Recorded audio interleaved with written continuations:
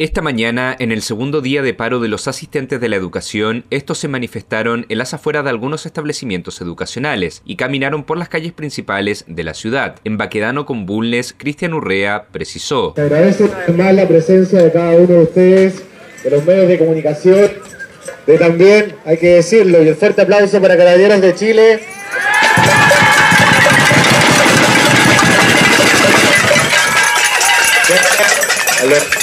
Son cuatro días en que vamos a estar detenidos porque necesitamos de una vez por todas una educación de calidad. No queremos repetir los errores que se han repetido en Colchagua, en Barrancas, en Atacama. Los trabajadores de la educación, si vamos a ser traspasados, necesitamos dignidad, ante todo.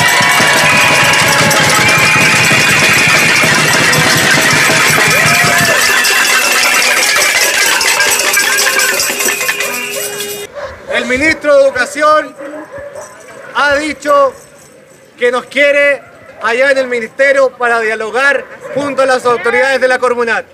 Ese es el primer efecto que ayer.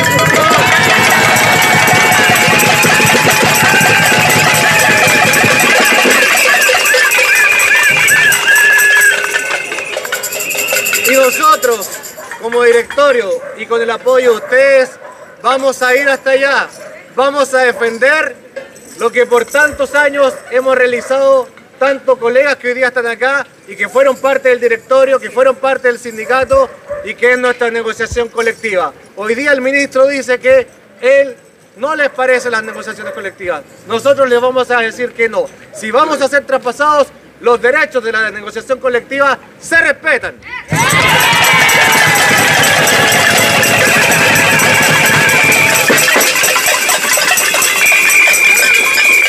Realmente nos sentimos con el directorio, con nuestros delegados contentos, satisfechos y a pesar del frío que nos ha tocado ayer, hoy día los invitamos a no bajar los brazos, porque la lucha la vamos a dar hasta el final.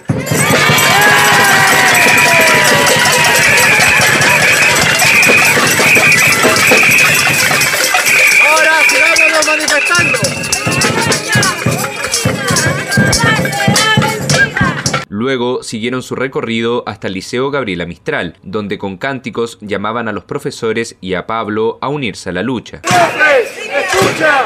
¡Únete la lucha! ¡Profe, escucha! ¡Únete a la lucha! ¡Profe, escucha! ¡Únete la lucha! Estamos enfrente de lo que es el- la entrada principal del Liceo Gabriela Mistral, en donde los asistentes se manifiestan.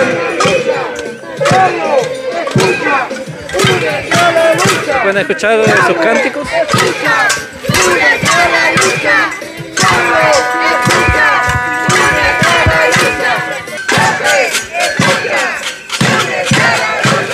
Bien, están colocando un-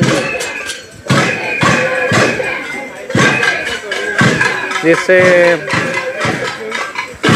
estimados eh, padres, apoderados y familia, dice, comunicamos a ustedes que algunos de los motivos por eh, los que nos encontramos paralizados estos cuatro días se debe a incumplimientos y compromisos y deudas históricas en nuestra educación.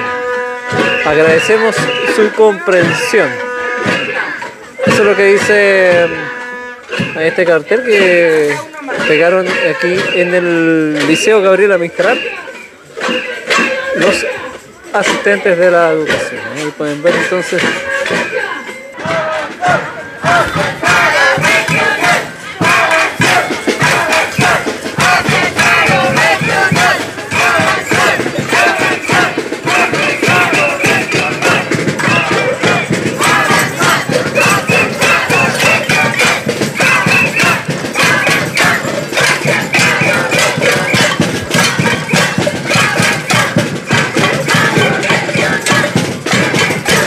Avanzar, avanzar, dice, hacia el paro regional.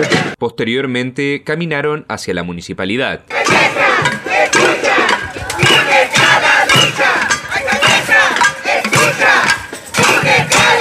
alcaldesa escucha, únete a la lucha, dice el cántico.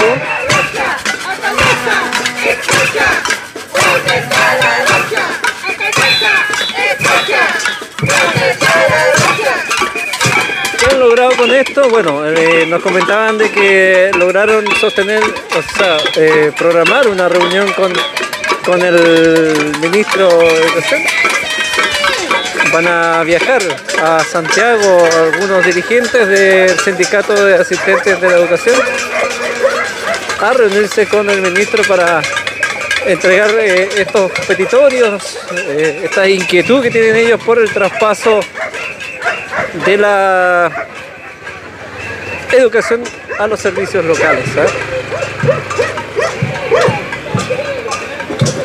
La movilización culminó en la delegación presidencial provincial. El presidente del Sindicato de Asistentes de la Educación de la Cormunat, Osvaldo Sánchez, agradeció el apoyo de los asistentes de la educación y agregó. Lo mejor que pueden hacer hoy en día los gobiernos son fortalecer el movimiento, los trabajadores y la educación, que es importantísimo para el avance de un, de un gobierno eh, fidedigno, fuerte. Así que colegas, les doy las gracias una vez más a cada uno de ustedes y esta lucha la están dando ustedes por cada uno de sus familiares. No es solamente su fuente laboral, sino la estabilidad cada uno en sus hogares. ¡Viva los asistentes de la educación!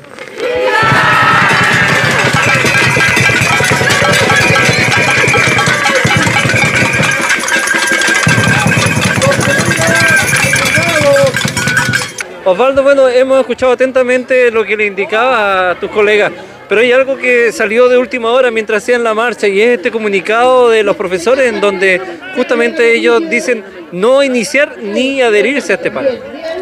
Sí, la verdad que desconozco ese comunicado, no sé si está, pero en todo caso nosotros ya eh, es algo que estaba previsto, que entendemos que probablemente así iba a ser, si ellos lo formalizaron no ha llegado a este presidente, no ha llegado a nuestro directorio todavía, eh, seguramente llegó a los medios de comunicación, se han saltado seguramente no conversar con los asistentes de la educación, pero nosotros los respetamos a ellos, es su decisión, es su forma de trabajar, eh, desconozco cuáles sean sus motivaciones realmente de ellos, pero como siempre lo he dicho, nosotros somos respetuosos de las organizaciones que toman sus decisiones eh, en forma independiente y, y además que lo representa a todos, a todos sus eh, docentes. Y hemos dado muestras, ¿cierto?, a nivel nacional, que los natalinos hemos parado incluso hasta ser los pioneros del traspaso, hemos cambiado, fuimos capaces de cambiar la ley, ¿cierto?, de resguardar todos los derechos adquiridos de los trabajadores y le mejoramos la situación con nuestro senador Bianchi aquel entonces, el diputado también, a casi 100.000 asistentes a la educación a nivel país y lo hicimos solamente los asistentes a la educación. Lo vamos a volver a repetir, no me cabe duda, no me cabe duda que hoy en día ya el ministro nos mandó a buscar, así que de todas maneras si ellos no están de acuerdo con eh, unirse al paro o, estar con nosotros eh, viendo una situación que es para todos por igual, aquí no, no es por separado, eh, nosotros vamos a levantar la bandera de lucha igual ya en este caso que son los servicios locales, que nos afecta a todos por igual, a los apoderados, a los alumnos, a los docentes, independiente que ellos no estén hoy en día sumados a esta situación, eh, a mí me compete como dirigente sindical. Tú dices que afecta directamente a todos por igual. ¿Qué pasa con los sindicatos de asistentes eh, en el resto de la región? Sí, en eso estamos hoy día conversando. Eh, ellos están peor todavía en Punta Arena. Eh, han tenido despidos, ¿cierto? Le están desconociendo sus negociaciones colectivas, están en una situación mucho más crítica que lo que tenemos hoy en día en Puerto Natales. En Puerto Natales solamente nos oponemos al traspaso, financiamiento y todos esos temas, pero ellos ya tienen problemas con su Cormupa allá y donde realmente han endurecido la postura hacia los asistentes de la educación.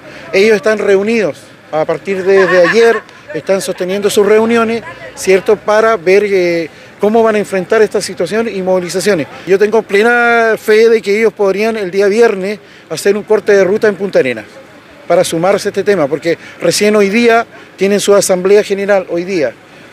Es posible que pueda ser mañana, cómo puede ser el viernes, pero ya está convocado ese tema, está conversado, hemos limado aspereza que tenemos entre los, dirigentes, porque eso ocurre, si eso ocurre hasta las mejores familias, pero yo no tengo ningún problema en pedir las disculpas si me, he equivocado y bueno, hay que echarle para adelante y estar los asistentes todos unidos. Se dice que eh, indica que posiblemente el viernes se podrían unir y, hacer una manifestación. ¿Quiere decir que los asistentes natales, este paro podría continuar? Este paro eh, nuestro termina el día viernes. ¿ya? Eh, nosotros, ¿cuál es el tema? Al regreso de la conversación con el ministro, vamos a tomar las medidas y lo que viene más adelante. De, todo va a depender de la respuesta y de lo que nosotros logremos en, en Santiago.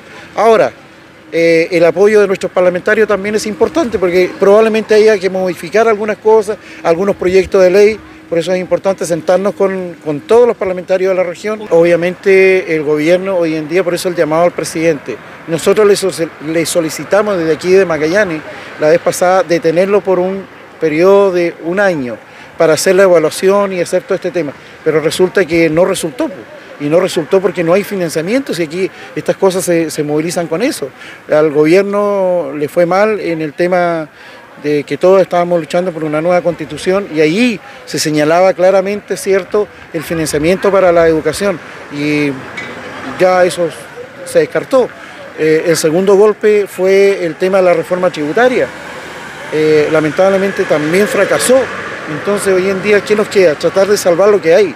Nosotros no estamos en contra del gobierno, para nada. Todo lo contrario, vamos a seguir apoyando a nuestro gobierno, pero sí queremos salvar hoy en día lo que se pueda salvar y poder crear alguna situación que sea eh, la mejora para la, para la educación, para todos.